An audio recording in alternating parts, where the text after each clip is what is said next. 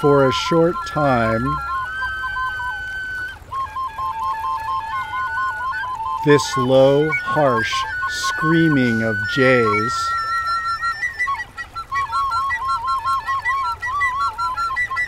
drowning the river.